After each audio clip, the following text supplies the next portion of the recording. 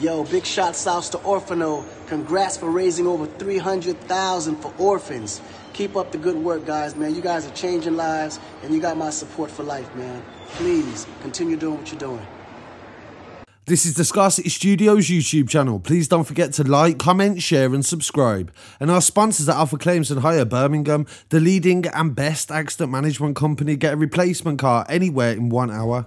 I really appreciate you joining me today. Every story is individual, and I have to make that decision when I receive the information how much of it is allowed to be discussed without jeopardizing a trial or somebody's freedom. And the newspapers and the mainstream media are notorious for doing that over the years. But in relation to this story, it's very different because cryptocurrency is an unregulated community and there is no legal consequences to actual frauds that occur in the community. So when you lose money investing in a coin, nobody can be arrested. So in that regard, I can talk about this as much as I like and nobody is at risk of any incrimination. Whether this is right or wrong is a matter of opinion that I would like to hear from you. But in this episode, I will be showing evidence of how a company have misled and ripped off using the identities of a charity. This story started on Twitter when a journalist retweeted called Jim Waterson. He noticed that the BBC had done an article on a young man that said that he'd turned £50 at 20 years old into £5.9 million using cryptocurrency. He's from the Birmingham area, and they also say that he forgot to mention that he set up a crypto coin that was shut down in October. But from what I can see from checking through the coin history, is that the coin is actually still in circulation in a very small amount, but it is still about. And in this episode, I would also reveal how they've created other coins. So this was the initial tweet that I seen, and when you click on the article for the BBC, they've removed it and they've not mentioned anything to do with it. It then began to circulate that the BBC had pulled this documentary about rags to riches due to the fact the millionaire was accused of scamming his followers. The BBC are yet to even speak about it, they haven't offered a redaction. This was half an hour before the programme was meant to air. And of course, it's left a lot of people asking why they didn't do it. What I found is an article from CoinMarketCap in reference to what they believe the reasons as to why they took it down. But first, I'm going to read the article that the BBC deleted. So, this is a rough idea of what this documentary would have been about. And then I will read the reasons as to why they believe it was taken down. So the article that was deleted that I've managed to recover through archives said that a 20 year old made millions trading cryptocurrency and he's set to open a food bank to give back to his community in Birmingham. Hanad Hassan made an investment of £50 apparently in cryptocurrency last year and within three months he's now worth $1 million, which translates, if true, to three quarters of a million pound.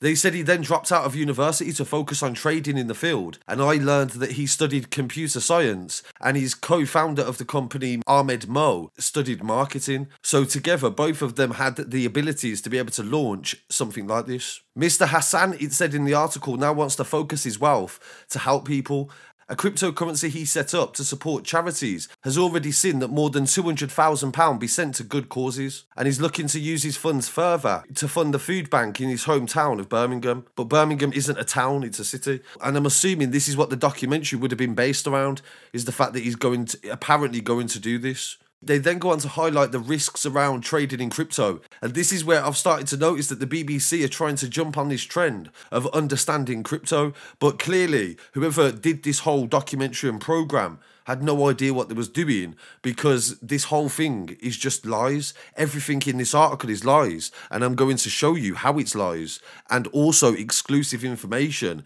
as to why I do know it is. It goes on to say in the article that was deleted that it's not always been this way. Hassan was born in Somalia and his family left the African nation to provide a different future for Mr. Hassan and his five siblings. They arrived in Birmingham at 14 years old and their background he described as modest. His father Omar tried to bring his family to a better place as their life in Somalia was not very good. They were kids from war and they wanted to come to a safe place. It then says in the article, since deleted, that despite his wealth, Mr. Hassan is conscious of the struggles of other people and he and his friend Ahmed Mohammed set up the cryptocurrency to donate large amounts of the profits to charity, and they have donated over 200 grand. This is what they've said again, and this isn't true. Like, I'm going to tell you how this isn't true. And the fact that they're manipulating the need for people to be involved in charities and to donate and to help people is known as scumbag behaviour. It then goes on to say Mr. Mohammed teamed up with a man called Mr. Hamid who founded the charity Bearded Bros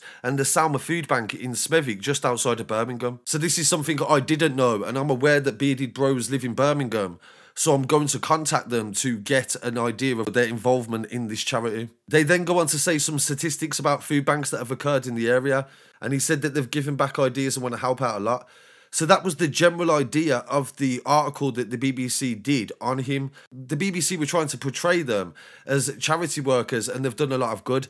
And of course, I do need to verify with the Bearded Bros what they did there and I'll get back to you. But I've spoken to other charities and they have actually dismissed any involvement. What I found first in the search of the archives was their website. They've deleted the website. This is what happens when they rip people off, they delete all the social medias so that it's hard for you to find out what happened. They used a picture from Banksy, which I guarantee you he didn't give permission for, to sell the coin, and the whole marketing around the coin was based on the fact that they'd be helping orphans. And on the website, I was even managed to recover details of the charities they apparently donated to. And one of these charities was called Help Your Team. And this is a genuine charity that helps orphan children abroad in Syria and other countries. And what I found out is the creators of this token, who are two boys from Birmingham City University, actually did a live stream with this charity telling them that was going to give them £35,000. They also published on their website that they had give the charity £35,000 and also BBC News said that. I have since been able to discover from getting in touch with the charity that they made no such donation. They've never actually donated to the charity ever so this is massive. This proves that these two young men have basically ripped off a charity. They've promised money to a charity. They've used the charity as a way to market their business. People was joining in and getting involved because they believed that charities were going to benefit. Orfano. Let's change the world. Earn rewards for the best charity token on Binance Smart Chain. A unique coin molded by the community, looking to benefit the lives of orphans in the poorest countries. 40,000 plus holders, $500,000 plus raised. Tokenomics, 2% charity, 2% redistribution, 2% auto liquidity. Join us today. It's confirmed Amir Khan is now partnered up with Orfano and he was thanking us all over his social. We've just smashed 30k holders and we've just fed 50,000 people. We've also helped raise money for children in Sudan. This is one of the only coins out there for a good cause, so please check out Orfano. Soon we are going to break all-time highs. You don't want to miss this one. And now I've got hard evidence from the actual charity themselves to state that they're not actually received any money from this company. And due to this, I'm trying to promote this real charity. And also, I'm going to donate along with Alpha Claims and Hire. And I'm going to publish the real details and get a video with the charity to prove that we've done this. And I'll post it on the socials tomorrow. And I'd really appreciate it if anybody else would support their work and what they do and follow them online at help team. In relation to the backlash since the BBC dropped the documentary, there's literally been not much. There's only one article I can find about it, and this was on Coin Market Cap. They said that the BBC quietly dropped the documentary about a British man who become a millionaire trading in cryptocurrencies, and they said that this turned out to be a scam. In an article that has since been taken down, the broadcasters told the story of Hanan Hassan, who said that he went from £50 to 50 million.